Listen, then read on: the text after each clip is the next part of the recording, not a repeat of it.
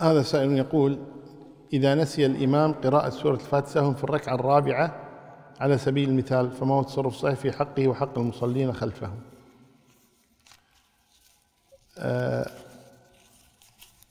هنا الأصل أن المصلين إذا قرأوا الفاتحة صلاتهم تمت لكن هو لم يقرأ الفاتحة والفاتحة ركن على الصحيح من أقوال أهل العلم. فلذلك تكون ركعته التي لم يقرأ فيها الفاتحة غير صحيحة فتلزمه ركعة بدلها. فهنا يقوم الإمام إلى الخامسة في ظن بالنسبة للمصلي لكن بالنسبة له الرابعة لأن التي لم يقرأ فيها الفاتحة بطلت. فيقوم ويشير إليهم أن يجلسوا يعني يشير إليهم أن لا يقوموا يعني يقوم هو فقط. ويشير إليهم.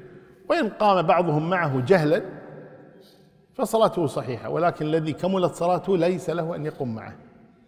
الذي صلى أربع ركعات كاملة ويعلم أن الإمام قام إلى خامسة يجلس سواء الإمام كان ناسيا أو عالما لا يتابعه. وهو الأفضل يشير المصلين بالبقاء ويكمل هو الركعة ثم يسلمون معه. والله أعلم.